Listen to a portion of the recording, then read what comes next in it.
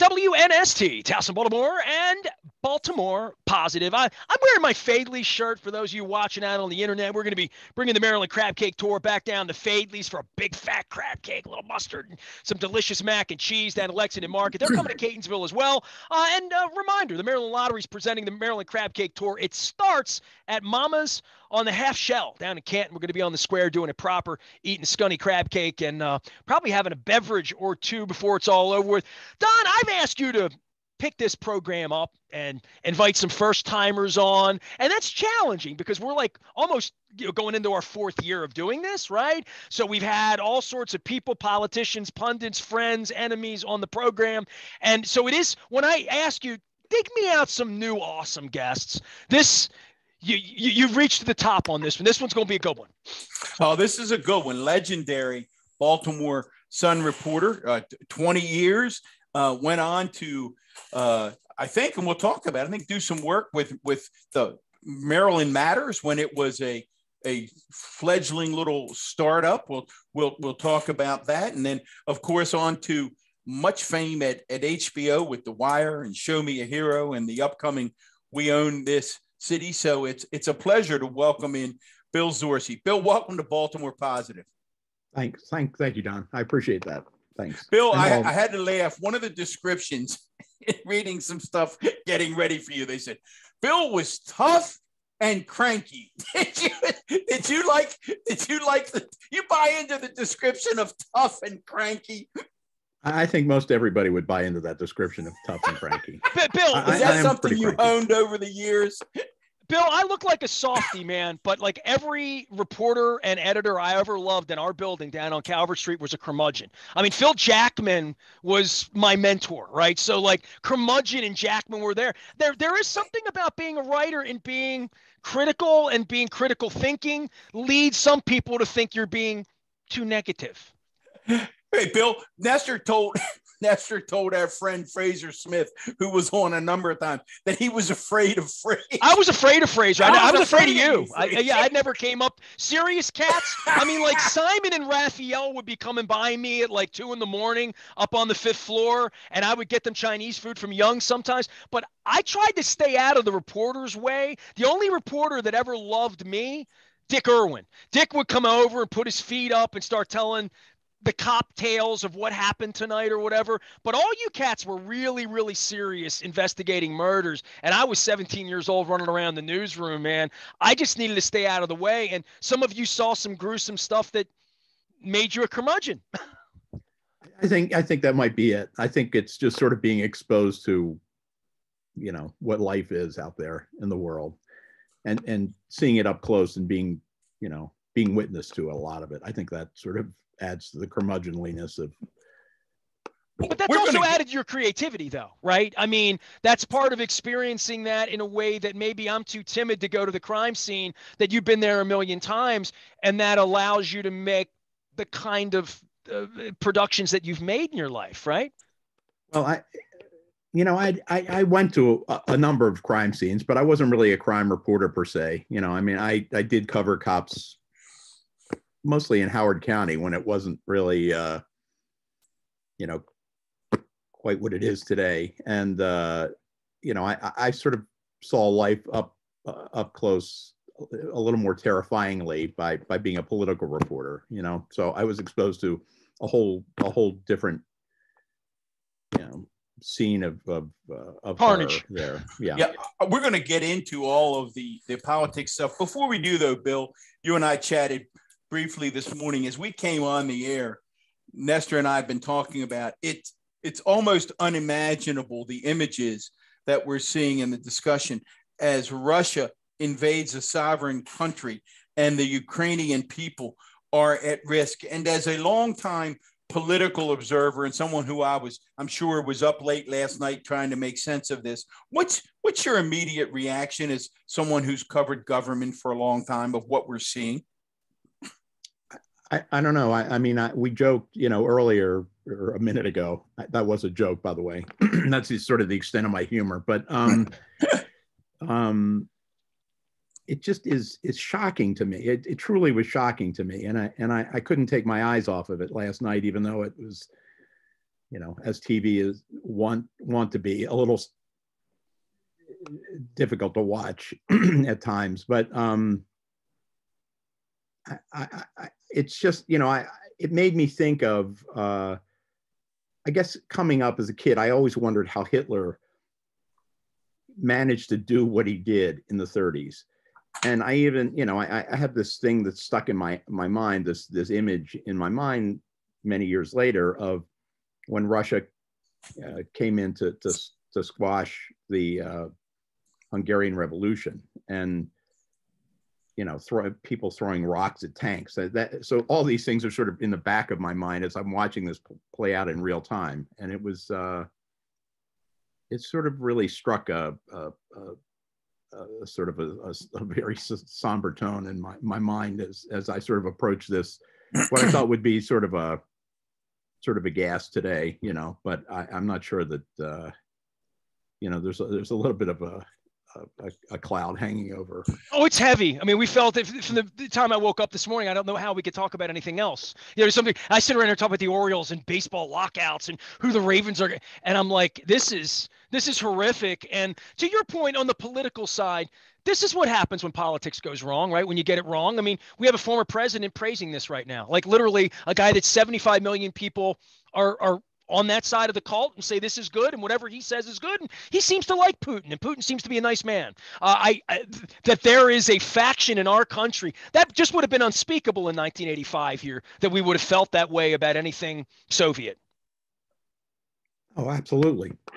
I mean, it, it, that, that is shocking, actually, that part. But I mean, I, I also wonder about things like, uh, you know, I guess just looking back over history, I've, I've wondered my, myself, like, how did Huey Long get to be where he got, and how did you know Father Coughlin get to be where right. he got, and you know, I I think we see now through those where the 75 million people have, have led us. I, I think we I think we see how you know in real in real time as they like to say. Uh, yeah, that, that element. There. Bill, I, I couldn't agree more. That element has always been there. And I'm one, actually, we talked with your former colleague Peter Jensen recently. And I, said to Peter, I'm one of the folks who subscribe to the belief that had there been a Fox News during Watergate, Richard Nixon would have served two full terms. I, I believe that with a Steve Bannon and a Fox News, it would have been very, I mean, perhaps Barry Goldwater and Howard Baker and others would have stepped up. I'm not so sure. Right. I, I don't know. I don't know. Well, I, it speaks to the power to what you've done, eh, you know, in the course of your life and, and report on this, right? And reporting on what politicians are really after, where they're getting their money, all of these these issues. But I I, I think all this through now on the, the information and the questions we've had to ask all of our lives start to matter when world wars start to happen again, right? And or, or when we say, are we going to participate or are we not going to participate? And what san- what do sanctions mean against tyranny, against evil? Well, yeah, I, I, I don't know if I don't know if I have anything to do with that, you know, or I can, you know, I don't, I, I no, but being in the as, news media and controlling minds, I'm talking about, you know, I don't, reporting I don't, I don't, think of myself as controlling minds, but okay.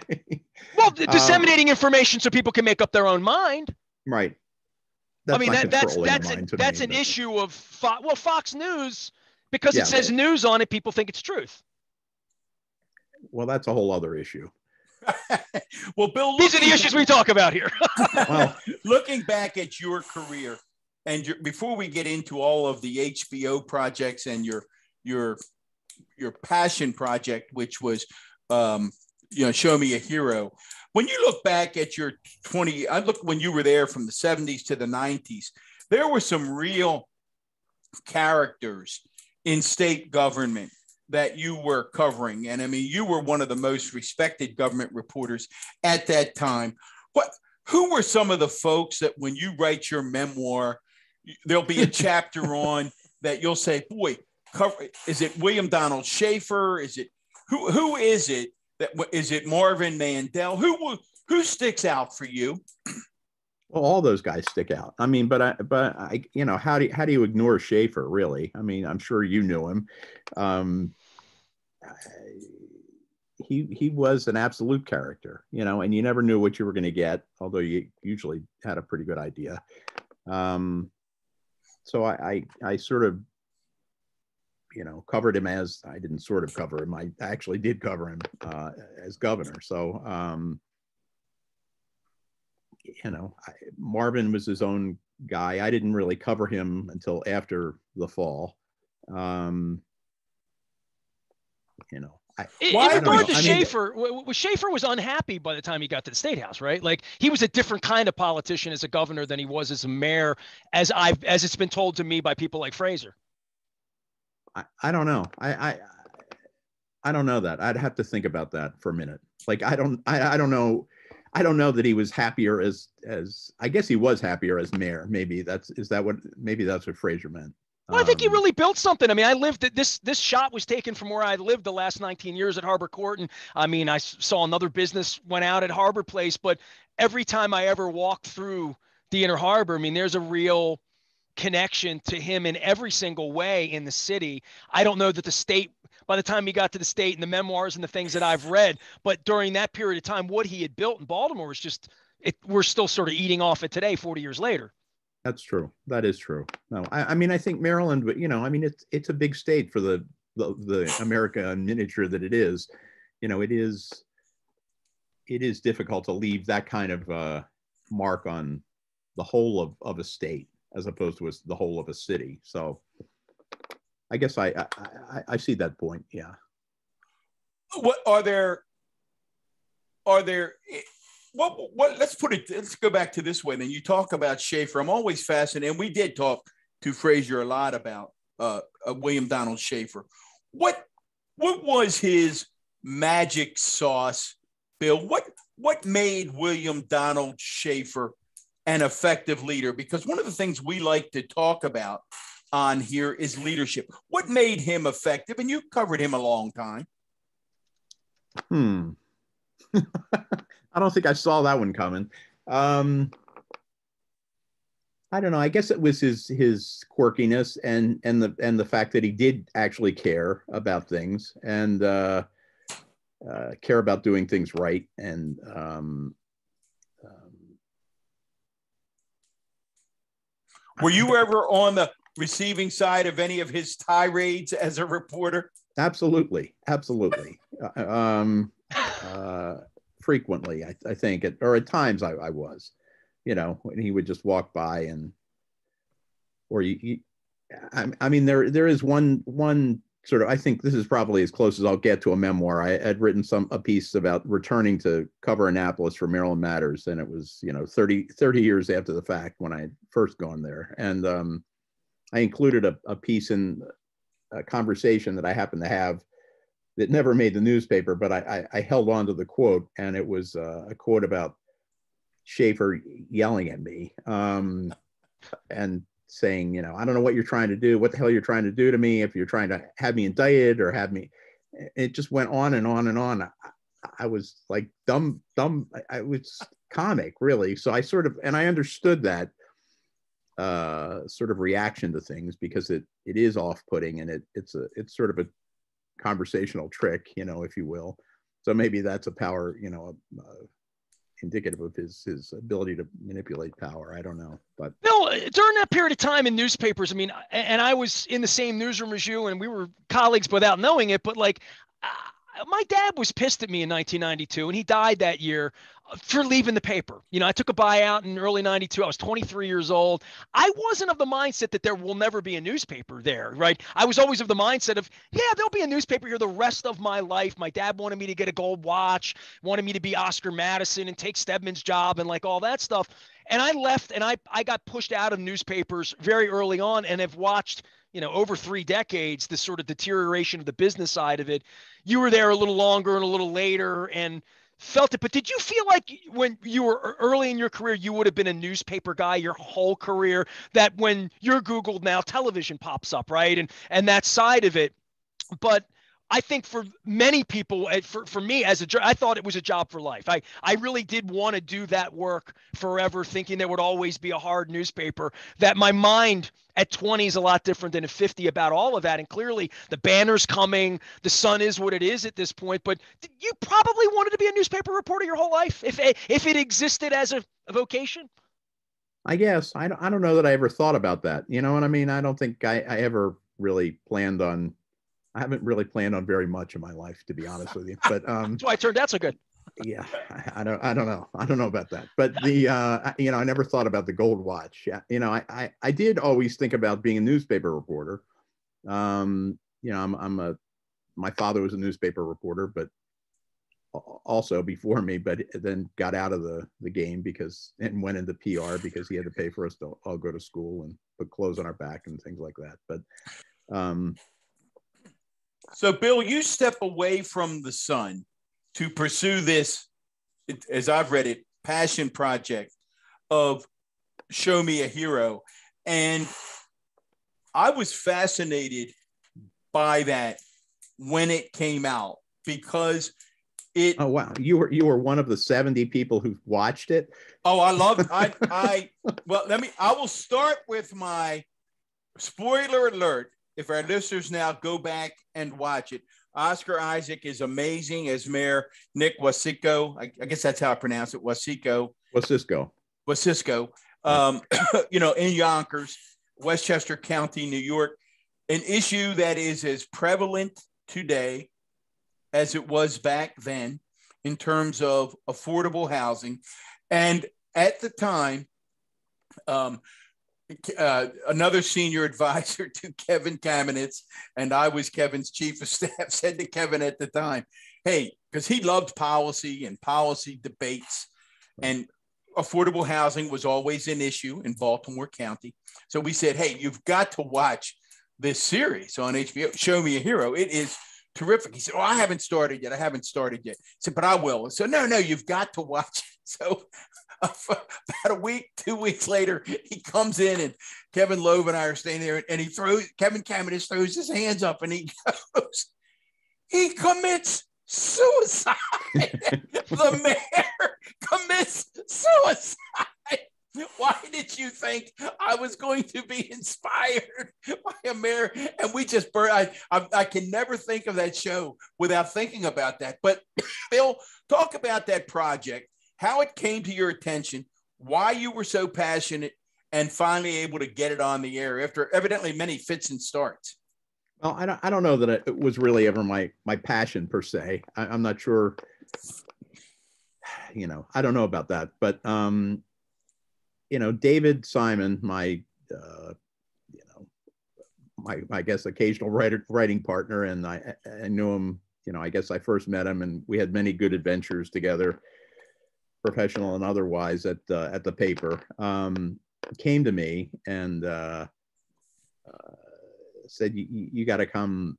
By that point he had left the, the sun and he was uh, he had done his bit with homicide um, the tv show for nbc and they were working on at that point they were working on the the beginning of the wire the first season of the wire. And uh, he just said to me you need to do this. You need to come eat from my deli tray, as the expression goes, and um, uh, you know, read read this book, and you'll love it. Blah blah blah. It was based on a book by Lisa Belkin, uh, formerly of the New York Times, and um, I, actually he called on on deadline uh, as he might, and um, as I have come to expect and I, you know, frankly, I forgot about it. I mean, I just said, yeah, okay, okay, okay, because you know, I had copy and move for the, for, you know, through the desk, and because I by that point I had stopped reporting and I had become an editor. I'm embarrassed to say, but eat better um, Chinese food. Yeah, well, yeah. Well, were you on the Calvert Street at that point, or down in the new tank? Oh, I, I have never been. I, I left in 2000. Okay, so it was Calvert Street. 2002. Right. So it was. Oh, sure. Okay, sure. So um he called me back like I don't know, six weeks later or something, and said on deadline again. You know, I'm like, yeah. And he said, so did you read the book? I'm like, what book? Like, I said, "Do you read the book? Show me hero." I'm like, you know, I've been meaning to read that book, but I haven't read it. He goes, well, you need to read the book because we've got a meeting scheduled. It was, you know, in a month. So I read the book. I, you know, I did sort of fall in love with the with the story. Um, maybe it's the tragedy of the story that I, you know, because I'm sort of drawn to things like that. Um, and that's how I got involved in it.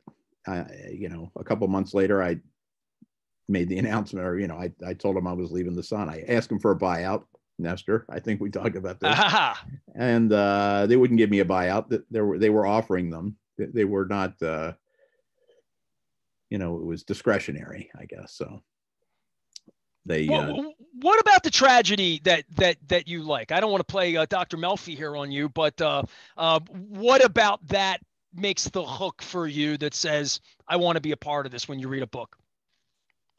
Well, first of all, it was I mean it was unusual in that um, I mean the whole thing is a tragedy, really, but you know it's it's it's one that's not just peculiar to to Yonkers, but um, um, I don't know. I'm just drawn to the darkness of of things like that. So.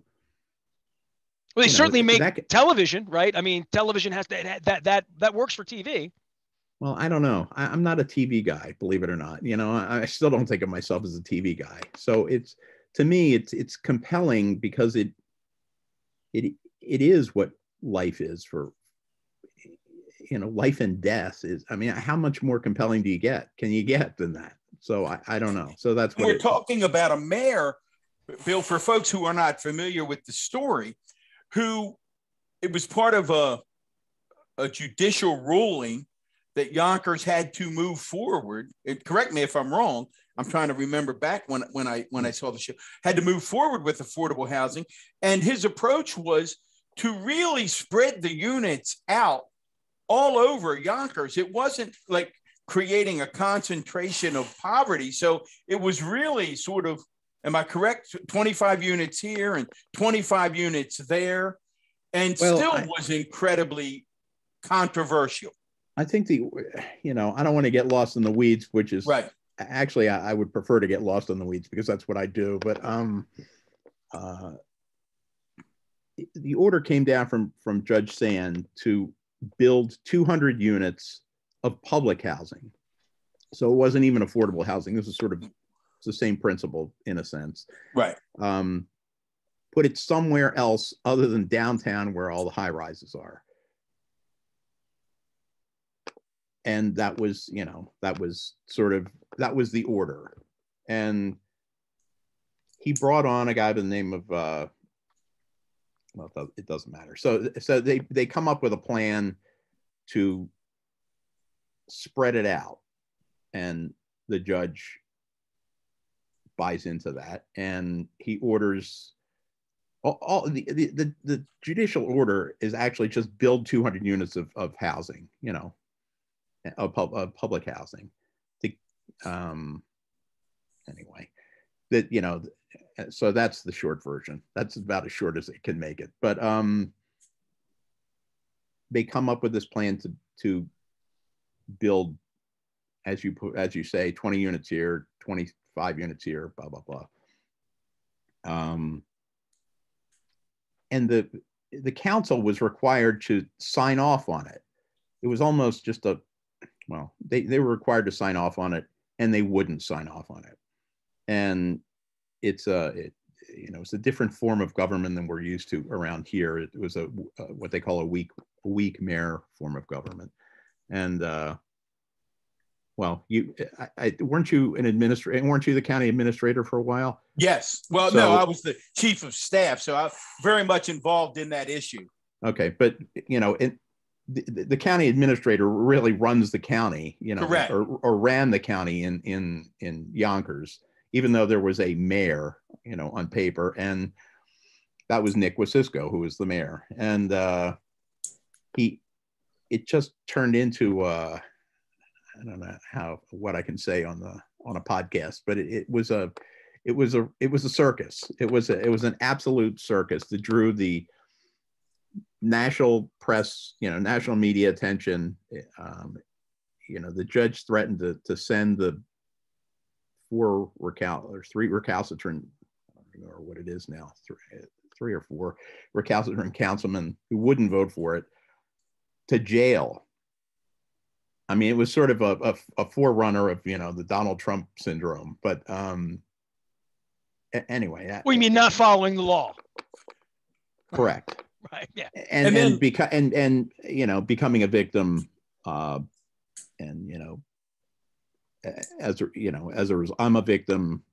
They're they're pillaring me for you know because I'm I'm just standing up for the rights of you know of whatever making America great again. I, I, I don't know. So the so Hank Spallone and these guys were uh, they just stood in the you know stood in the way and this went on for this dragged on so i mean that's kind of the short version it doesn't sound very compelling but um but it's it's compelling and then of course the suicide which to this day i think right bill there's no clear i mean people only surmise from what i gather why the suicide whether it was he feared he was going to be indicted whether it was the pressure of trying to bring about this societal change? There's no real clear answer, was there, as to why the suicide?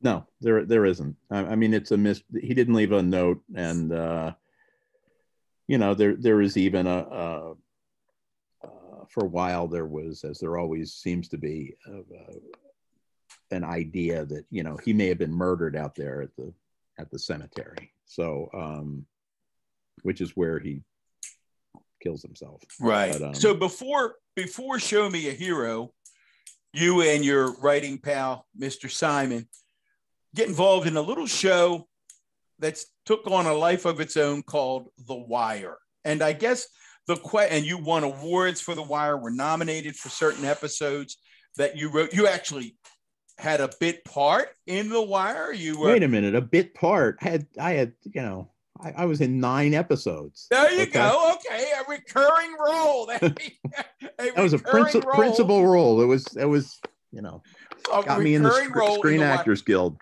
How nice. Got a card. The, nice. How much of the Wire bill came from your work at the Sun and what you were covering? Well, let me just back up a second. The um, I, actually, I didn't get involved in the wire at that. I, I really made the jump to go write or work on, and I didn't know a thing about how to write a screenplay, but that's another story. Um, to go right into Show Me Hero. Um, it was only as things evolved, although I was, I, I acted, I might add, you know, Nestor, just and I'll be I'll be signing autographs later. But you acted like a reporter, right? I, I, did. I, I played a, a, a foul mouthed, cantankerous uh, reporter uh, named, oddly enough, named Bill Zorzi. And um, who, who cast that? Your buddy Simon? I, I think he did. And uh, it's an inside job. yeah. So I, I, in season one, but I, I didn't really start on staff until season three. So I, I was in three, four, and five, or wrote right. for three, four, and five. Bill, now that I've had you here 30 minutes, I'm gonna like be really honest with you. And I ran into over? Simon. No, no, I no, I ran into Simon um six weeks ago, right before Christmas at, at an event. And I know him enough that he knows who I am. And I, but we were in the same, I know Rafael better through real life and, you know, 30 years later or whatever. And David's going on to do his thing and I bump into him in places. I've never watched The Wire, and I know how wonderful, how I know how incredible as an art piece of art it is.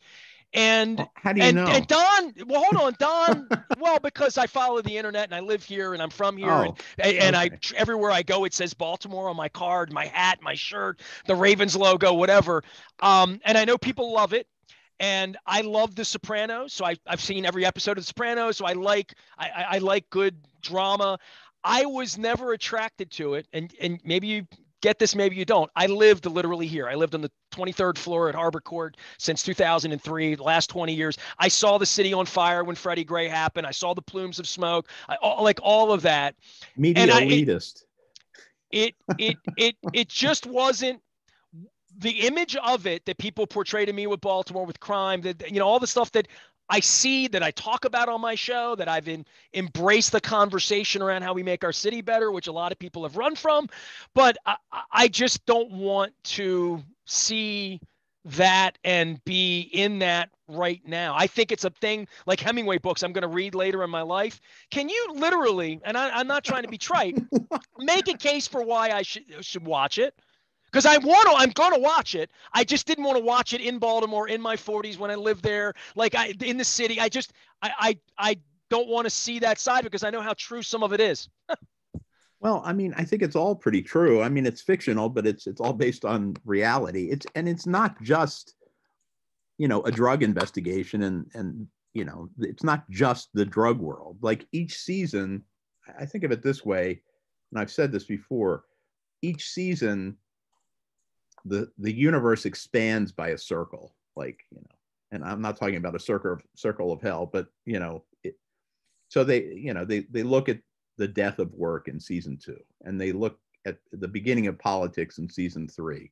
And they look at the school system in season four, and then they they look at the the media in season five. So that's what makes it so meaty is that it peels back an onion that you have to stay in, uh, and and I know that I'm gonna watch I'm gonna watch it front to back. I just, from the people who made it, if I sit with David over a coffee one day, I would just ask him, like, make a pitch for why this is essential for me to spend, what, 50, 60 hours of my life doing it, that I know I need to do it because Don yells at me because I feel like there's a point of reference for Baltimore that everyone else has this whatever the opinion well, of of not just the art of what it is, but of Baltimore. You know, like it, that, that, that, that, it was so good that people think it's real. we finally well, wore we finally wore my brother and sister-in-law down because like you they were holdouts. And i will tell you that two months ago because it takes a couple of months if you're going to watch all five um, how many seasons. episodes? Is it 60 or like that? it is 60 okay yeah, well, so okay, i was guessing. Okay fair it's enough. going to take you a while. But i will tell you that my brother mike and my sister-in-law bridget have now will now say to me, I can't believe we never watched this. It's one of the greatest things we've ever seen. And Bill, I, congratulations on being part of something that's iconic. 20 years later, never, we're still talking about a it. List. There's never a list of television series that it's not listed as no, there's the not a lot of things. Um, I don't want to say I'm ashamed, but embarrassed that I've never. People get yeah. really pissed at me when I say I've never seen The Wire, and I'm so, like, I think you should be more more embarrassed that you haven't read any Hemingway.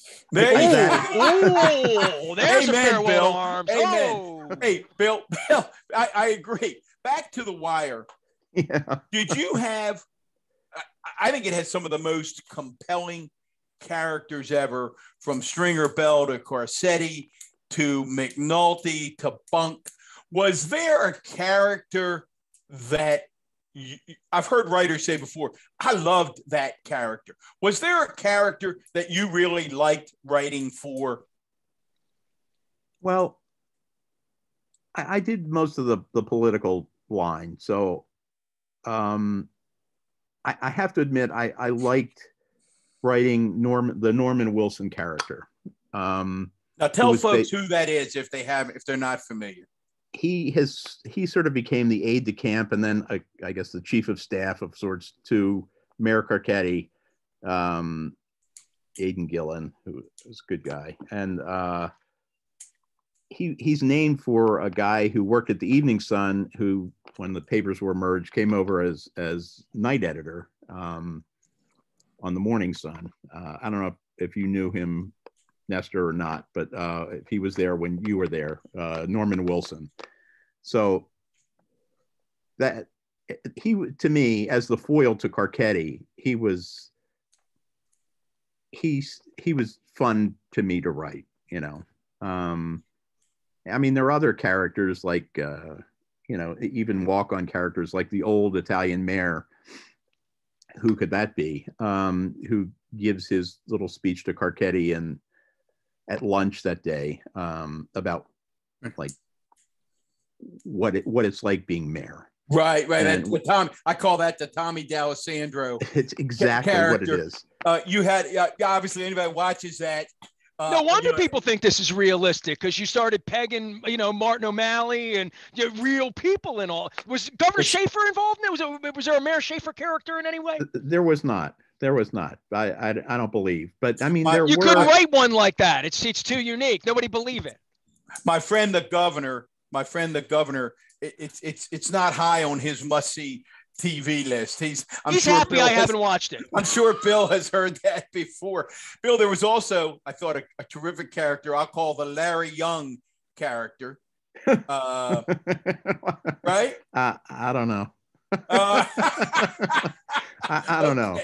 Fair enough. I mean, hey, it- Bill, it- go to go to. It might be the 10,000 Clarence Mitchell the third character. I don't know. It's like some people have guessed that as well, but I don't know. Okay. Well, go to go before we talk about we own this city, your latest project. Go to ten thousand feet. What's what is the Baltimore that is portrayed over five seasons of The Wire? What is the Baltimore, and is it a universal story of the challenges of urban America? I think so. I mean, I I think that's exactly right. I think I think the universality of it is is the appeal of it. I mean, it's you know, it's I'd like to think that it's compelling television from a drama, a dramatic sense, or in a dramatic sense. But the, these are all problems that we face, you know, as a nation, and you know, as that universe gets smaller, you you know, as as a as a resident of the city or whatever, and you know, we tried to make it, I think, as real as possible. Um, I mean, there are lots of stringer bells across the United States of America, right? There are stringer bells who are running these, I'll call them mini cartels for lack of a better word, all across America. Am I correct? Yeah, I think it's. I think to a, it is to a lesser degree now because I think everybody seems to be in the game. So, you know, the old uh, oligarchs, if you will, sort of, they've been replaced by you know a million corner boys. You know, um, I mean, there are obviously the feds will tell you this. There there are big drug dealers and and suppliers out there in the world, but the game, as they call it, um, is is different on the street now. Um, So, And, So and sometimes the cartel are the cops, right? well, let's get let's that what a what a segue. We are I do this for a living professionally, Bill. I mean, you write transitions. You Yeah. know, this is all part of my. Well, there you go. I'm gonna say what a what a transition. We're with longtime Sun reporter Bill Zorzi, uh, famous by way of HBO. Uh, a little detour along the way to uh, the Maryland Matters, which most most of us go to right away when we wake up every morning. Bill, we had Justin Fenton on back when the book came out. We own this city, and I told everyone. I probably I kidded Justin. I probably sold 50 copies in a week because everybody I talked to. I don't know said, that I had a segment ever on the political side that for a month everybody came up to me and oh. said, Oh, "Oh my God, I got to get the book. I can't believe." You know, like it was one of those things that it sort of sells itself. And again, it's true life carnage in Baltimore, right? Like literally, that that's that's what you're Well, chronicling. and that's where I Oh, yeah. start with Bill now. Bill, having covered the crime beat for 20 years in Baltimore, uh, for the folks who don't know, we own this city is about Baltimore's gun trace task force. Police run amok. Um, was Justin's book surprising to you, or did you go, no kidding? no, it was it was surprising to me, and and I, uh, you know, I, I- I know I'm not a great interview because I, I think I've already warned you about that, but um, uh, I find it pretty compelling. So Yeah, I've keep- enjoyed having you on, actually. I, I don't think you're a willing participant, but I think I can Melfi you at. That's where I get my gift is, is to Well, get the I- best I- out of I you, don't- Bill. well, nobody's no, nobody's making me walk this plank. I'll just say that. Other than o- other than Don, he, he sort of sweet Ask talked me tough into doing questions about all of this, right? So, but but go back. You said you said you were. I, I'm fascinated by that answer, and I want Well, you to. explain- I You thought were you saw everything, right? You've seen everything. Well, yeah, I would like to think of it. I haven't seen, you know, who, who would have thunk that uh, Russia would be invading Ukraine, but that's another story. Um, when when I, got wind of this, when I was approached about this, you know, I was like, Christ, you know, I don't want to, I don't want to write another, you know, dirty cop story. And I just, I just, you know, it's not that interesting to me. It's not that compelling. And, you know, I mean, that, that seemed, and I didn't know anything about it. And then I started, you know, it was sort of like, well, come on, take a look, blah, blah, blah, blah. So I started reading, you know, the, the, uh, the indictments. I started reading the, the search warrant affidavits. I started reading, you know, more and more about this, and it was shocking. I mean, it was shocking because it was so Um, systemic. Because so many people had to be in on it for it to work. Well, just that it worked at all and went on for, you know, I mean, I guess it didn't go on for that long. It just seemed like it go, went on for that long. But but it as it turned out, it it is systemic when you when you look at how these guys came up and how they were trained over time, you know, sort of what had happened to the the police department um, or how it had, had changed just in you know 20 years. And uh for any number of reasons. And then the the other piece of this, which is not really so much in in Justin's book, but the other piece is that we sort of smushed together, which is a, a, a filmmaking term of art, I think, smushed, um, is uh, the DOJ's investigation and uh, Department of Justice's investigation and, and assessment of the police department, and it's some of its constitutional failings. And uh, You talking about the consent decree? absolutely the consent decree so we we there's a, a whole storyline built around that that kind of happened simultaneous with this gttf investigation so Now, will the will the HBO series, and it would be malpractice on our part to not ask you your thoughts on a real tragedy. I mean, there were so many tragedies, and we own this city. As I said, I kept telling people, you'll read it in a day, and your day will be shot because you won't be able to put it down. I mean, I just kept zoom, zoom, zoom, zoom, zoom through the book. Um, I guess the last tragedy in the book, beyond Wayne Jenkins and all that, and you know, luckily, I, I used to say, cross my, you know, bless myself and say novenas every time I'd get to a part about Baltimore County. And thank goodness, every time it got to Baltimore County, our county police officers did the right thing. I'm going, whoa, thank goodness. You know, hey, if there's anybody that comes out, uh, you know, on the right side of this, it's the Baltimore County Police. I was so grateful. But Right, we and, end up and this- oddly enough the harford county sheriff's department and the Harford County Sheriff. Yeah, abs- absolutely. So we end up with this tragedy that is Sean Suiter. Does does the series end and, and cover the Sean Suiter tragedy as it makes it to HBO? Does that make it to It the does. screen, Bill? it does make it in fact the sean suiter character is we see him through throughout the series What what is your you've written about it, you've read about it. Um boy, we Nestor and I have gotten so many uh, different pieces about Suiter. Where do you land now as someone who studied it and written about it as to what happened to Sean Suiter? Hmm. like what happened in the large sense or just in the in the que- down to the question of whether he killed himself or whether Both. he was killed. Both, both large sense, and then whether he killed himself. Um I, I believe he he did kill himself. That's what I believe. Um and you know, I think it's it, it really is a, a tragedy, a horrible tragedy. Um and I don't know the extent that he was really ever involved in certainly not the antics of, of what we've come to know as the GTTF uh, episode and policing. Um, but you know, I think he he may have witnessed things that he was duty bound to report and didn't, and I think that just ate at him eventually. That, that's what I think.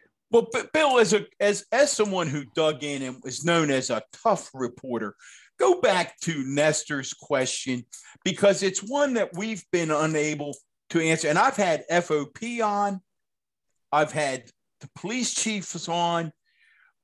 I've never gotten what I find to be a satisfactory answer to Nestor's question, which is how the hell did all of this happen? Yet we're supposed to believe that the higher ups didn't know what was going on with a wink, wink, nod, nod. What? Eh, put your reporter hat back on. What? What are we supposed to believe about who knew what about the gun trace task force? Hmm. I mean, is your question? Do I think that they they knew that they were out there robbing drug dealers and and you know sticking up people and and and willing willing to look the other way because Jenkins and his guys were racking up huge arrest numbers. Yes, that is the question.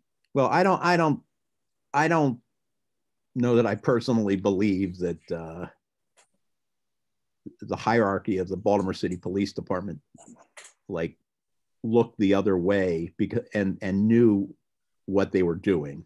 I, I don't believe that. Um, and maybe I'm being naive. That's reassuring to me. But um, they know, were just bringing guns in, right? They, they were. Just, they were they bringing were, guns were, in. They were exactly why they, they're the kind of cop we want to have. They're they're getting guns off the street, right? Exactly, and dope off the street, and you know, blah blah blah blah.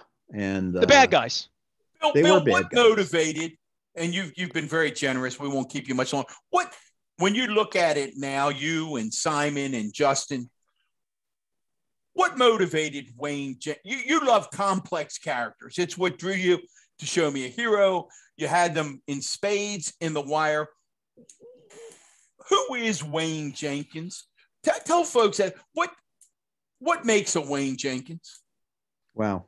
do, you, do you have any easy questions? Um, I, I don't I don't know. I mean, you know, the guy grew up in you know on the east side in Essex, he was an Essex guy, right? EVT guy, right? Baltimore yeah. County, and uh, I think he, I think he was uh, an HVAC guy at some point, and then you know he joins the Marines, and he, I, I, I don't know what makes that. You know, I mean, power makes that, right? Well, power, power and, makes yeah, greed, yeah. power and greed. greed. Um, I mean, it was so much money. I mean, I mean, I'm, i can imagine. I can't wait to see. The, I I can imagine these scenes where they're out in the back in a garage giving bags of money to. I mean, we're talking big, big dollars, right? Well, by the way, I want to promote this just so we get it square. It premieres April 25th on HBO. Am I saying that correct, Bill? That's what I understand. Yeah, yeah, yeah. I'm just I'm just reading off the web here, and everybody can go watch it if you have HBO. And obviously, we're gonna have Justin Fenton on as well, who wrote the book. So I, I just don't want people to be lost in what we're talking about. That this is a real thing that's a couple of weeks away from from it's it's done, right? It's in the it's it's six series, six episodes, correct? Six episodes, and uh, it's in. I think they're the fine the final throws the post production up in New York. So does actor you know. Bill Zorzi did he get a call back on this one? No, he didn't. He he he uh he's been working on other things. So he's been been very good. What's next for Bill Zorzi as we wrap it up? What's next on your um, to-do list? Well, I've I've focused on my contractual obligation to uh, uh, to finish writing a, a book about uh, with with David uh, Simon, my my occasional partner. Um, Give him my love. Of, yeah. On, as soon as I as soon as I hear from him again, I, I will. so um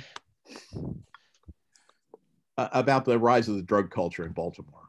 So uh, it's sort of a historical non nonfiction narrative of uh, you know going back to 1950 and coming forward. So um, Can't wait. We'll, we'll, we'll have you yeah. back on as that project evolves.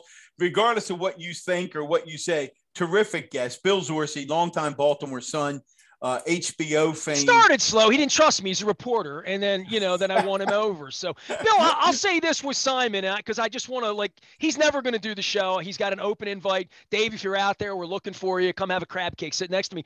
But I, I have this book that I wait, acquired wait. in the '90s. What? Simon How come I don't get a, a, an offer for a crab cake? Oh, you do. That's a standing offer. when do you, you want to come out? Meet me at Mama's on the Half Shell next Friday. I'll see you there. I, am doing the crab cake tour. I, I absolutely now I've got you on film, so now you have to come out. But with Simon, he's so beautifully profane on social media. Um, and I have this book of maledicta that is all of these insults over the, the ages in all of these languages translated. And I told him when I saw him, the only thing I think about is like all the stuff he's done, Wire, all these wireless stuff. All I think about is you're the most profane MFer I've ever met. And I have a book to give to you that's going to make you even more profane because he works in he works in it like an art form. I mean, it really he he's he's an incredible follow, a very unique follow on social media. You must admit. I don't I don't I don't have anything to do with social media. you miss all the humor. Bill's, just Bill's the writer. That's why Simon's got a hell of a sense of humor. Let me tell you that. he's that. still too. offended he's still offended that you haven't read Hemingway. I mean, yeah. what the hell? I mean, I don't know what to say. Here's what I'm going to do, and I'm going to make a promise to you from your art. I am absolutely going to watch this series um, because I am fascinated. Which, which, one? You haven't seen any of them yet. you haven't read Hemingway. You Thank you, Bill. How do you, how, Hemingway. how is it that you keep your? You didn't write. Hemingway. Um, we own this city. I, am going to. This is a parting shot for you, and this is serious business. Why do I need to watch it? And in your way of putting this together, this is a true story that you're trying to bring to life with true facts, right? So the the you you talked about writing a, a uh, writing for television being different. What are we going to see in these six episodes that maybe mirror the book or in some way change how much Don loved the book? Well, I, I don't know. I, I mean, I, I, assume it'll give you some sort of insight into, you know, while it's dramatized, it's based on fact and, uh, you know, how policing exists in the city of Baltimore, or, or did at least through Freddie Gray and you know until 2007, March 1st, I think it was. They busted the, these guys, um, and then, and then where we are today is a whole other thing. But um, uh, you know, I think it gives you an idea of how we got to where we are, really. So, you know, I think anybody who cares about what uh, is happening in the city and wants some sort of insight and understanding as to how we got here, I think it's valuable in that regard. I promise, last question. Real quick, Bill, because Nestor got me thinking about this when he just asked, what's it? When you write for the screenplay, do, do you as a writer, and Nestor's a writer, do you have to become Wayne Jenkins? at moment, do you have to then become Jay Landsman? Do you have to become? Do you have to think like each cat? How does the process work? well, that's sort of a big question, but yeah. It's next episode. I, I, I, think you do. Yeah, I'll come back. How about if I come back tomorrow? But but no, I, I mean, I remember talking to this guy who had been a councilman in Yonkers, and I was trying. He, he was like, "Why? Why? Do you, you know, it's all in the record. I don't know what. What do you need from me? Why? Why do you want to talk to me?" I was like, "Because I don't have I don't have the voices in my head. There you and go. Then I thought, and then I thought to myself, this guy thinks this guy will never goddamn excuse me this guy will never talk to me now because he thinks i have voices in my head you know but but he did and he was you know he was very helpful actually but that's exactly right and uh, and the other thing that, that that i guess is is different about i mean really di- markedly different is you know the show show don't tell uh, of, of screenwriting or, or television writing where my whole life had been spent telling. That was that was that's that's the newspaper's job to tell you what happened. Here's what happened not to show you what happened and let you think about it you know or you know guide you through you know some sort of eh, sort of evolution and you know um so eh, you know, when I first my first screen, eh, you know, the, my first attempt at screenwriting, I would write these long sections of dialogue because I I felt I had to explain what what's going on, you know, because that's what I that's what we do. That's what we we do ideally in you know in reporting the news. So, you know, on a piece of paper, you never want to see a block a copy like that on in a screen, you know, of, of dialogue you know, because people don't talk like that. Especially That's except great. except here for except Nestor here. Yeah, when on I'm on the radio, right? Exactly. Yeah. Thank you. I That knew is- you were going to say that is that. I knew that. Bill, Boy, really Nestor- appreciate you having on having you on, and, and I definitely want to get a crab cake. And if uh, if you must be Faidley's, come on down to Lexington Market, tell some stories or whatnot, or we'll get you over to Costas or uh, Pappas or Conrad's, one of the places we're going to be going next couple months. But really appreciate the time, and I, I'd love to have you back. I'd love to have David on too, but only as a willing guest. Not I'm not. It's, we're not going to do root canal with Dave, but um, to promote to promote the series. Seriously, They're, they're, they're- it's like you know a root canal or a proctology exam. You know, it's one one or the other. I the don't thing know. with Dave is, and here's the issue, because I do have an FCC license, and I and I do drop two of the seven Carlin words from time to time when I'm really angry, but not the other five. I have to let Dave work blue. You know what I mean? Like if Dave's going to come on the show, if he worked blue, maybe then we could, you know, have him on the program. But I really do want to promote. It's like show business talk. Like who work blue? What is that? You mean you you know We'll have David. We'll have David just for a podcast episode that we won't put on the radio. Then you'll be good to go. when I want to be abused by my guest for a crab cake, I'm going to have Bill Zorzi come by. So, you uh, should call me because I, I, I've you. been holding back, Nestor. I just wanted to let you know. And I do remember you. and I I do remember say- you from the newsroom. As I recall, oh, what did I do? you you were like the agate clerk clerk in I sports. was. I Right, was. I was a scoreboard guy. That's that's about as low as you can be in the newsroom. I was 17. I know. No, no. I I I- I think that's where Rafael started, doing the same thing. I had the same job Larry Short had. It was great. I didn't pick up his accent, but I love Larry. You I have to don't be. think I don't think you did have the same job as Larry Short. We were editorial assistants according to the Baltimore Washington Newspaper Guild. So that's true. Bill be Zorzi, man, we appreciate you. Don, like, get, get us out of here. I'm gonna say, be careful. Rafael and I will sing the uh, Mount St. Joe fight song. Tremendous, legendary Bill Zorzi, uh, HBO coming up April 25th.